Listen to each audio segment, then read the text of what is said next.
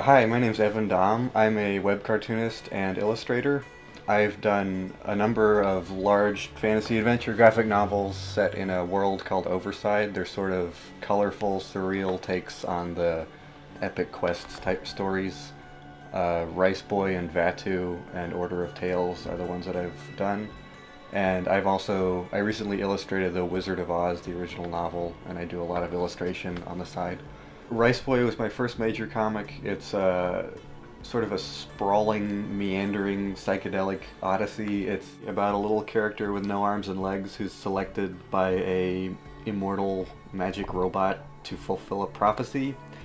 He goes through a ton of like different trials and tribulations and tries to fulfill a prophecy that nobody really understands. Rice Boy I started in 2006 and it was kind of just a repository for a bunch of visual ideas I've had and I put it in this loose kind of like epic journey prophecy end of the world framework ending up with this sort of sense of a, a, world and a history. I wanted to explore that in a more controlled way. So Order of Tales ended up being in opposition to Rice Boy in a lot of ways so I went in the opposite extreme and made it totally black and white and made it more about like texture and value. And I feel like I learned a lot doing that and also it lends a kind of shadowy gravity to that whole story that I like. And I did it with an intense focus on like character and historical consequence. Order of Tales is a much more like straightforward hero's journey story. It's about the last member of a society of storytellers as he's uh, involved in this journey to kill an evil king. It deals with the dense history of Overside and sort of the interlocking histories of the different people the characters in Order of Tales are mostly centered around this sort of mythical ancient society of storytellers. The main character is this character called Cork, who's this sort of um, displaced heir to this storytelling empire. And it being a story that's so consciously like about stories, I felt like that was the way to approach it. And that's a way to make the pretty straightforward like hero's journey to kill a bad guy type story a little bit interesting and metatextual as you can make it about sort of exploring the world through stories and exploring how those stories show worldviews.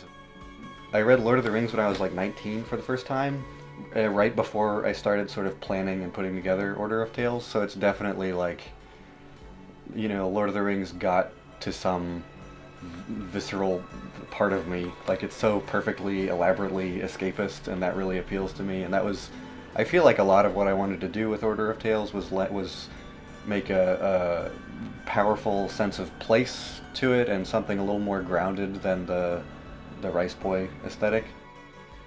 Vattu, Vattu is the thing that I'm doing now, so it's the thing that I think is the best work that I've done.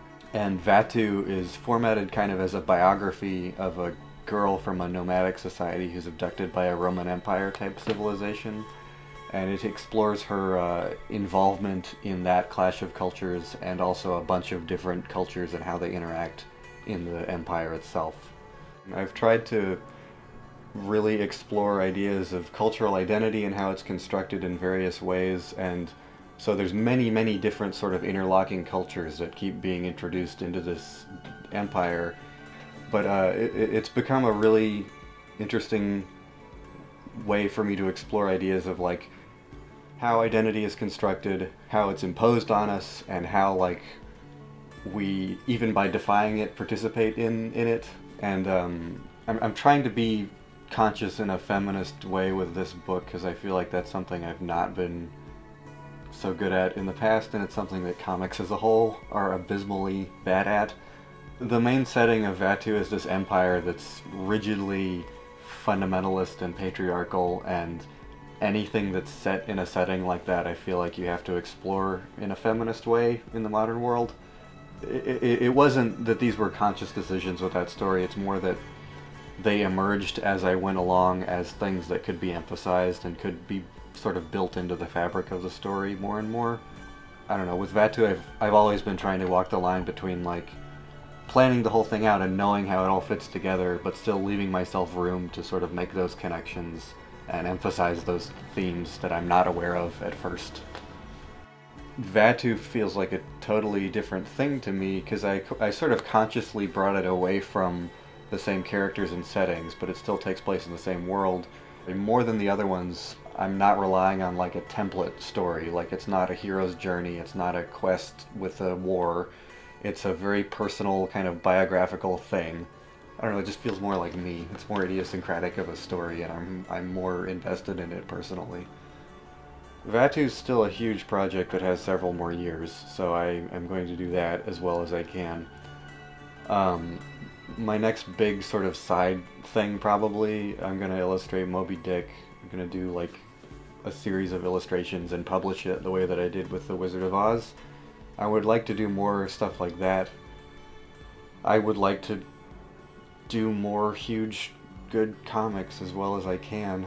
That's all that I've really got, and I want to maintain as much creative control as possible, so self-publishing is where I I want to just make that as sustainable as I can for myself, basically. But I don't have a, I don't really have big specific plans. I want to do the work that I'm doing now as well as I can. That's the main thing. Thank you for watching Beyond the Longbox. If you enjoyed the show and would like to see more, please hit subscribe and we'll continue to bring you the best in comics. Worship me! Well, I love having total control of the book design process, and for the overside books, I really like having no text on the covers at all and just having them sort of emphasizing that escapist, like otherworldly quality. In the storytelling itself, I'm really interested in dropping a person in a setting and letting the story make sense to them, like not really overtly explaining anything. And I feel like I try to let that be the philosophy for the covers too. Like you just sort of dropped in and hopefully you want to look at the book, but there's no real explanation of what it is. And then um, I do like fancy hardcovers for most of my books, like a limited edition hardcover version. So this is Order of Tales. Uh, you sort of see. And this is the first part of Vattu.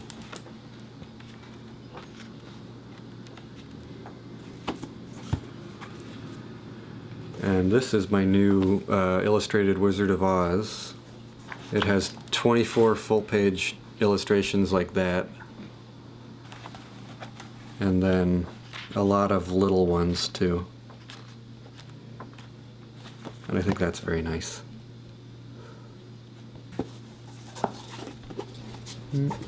Those are books. I feel like being near the park is very important to me, and it fits into my process kind of like I do a lot of writing in my head while I'm walking around in the park, and I like having a dog that's an excuse to go there every day. And she's great, look at her.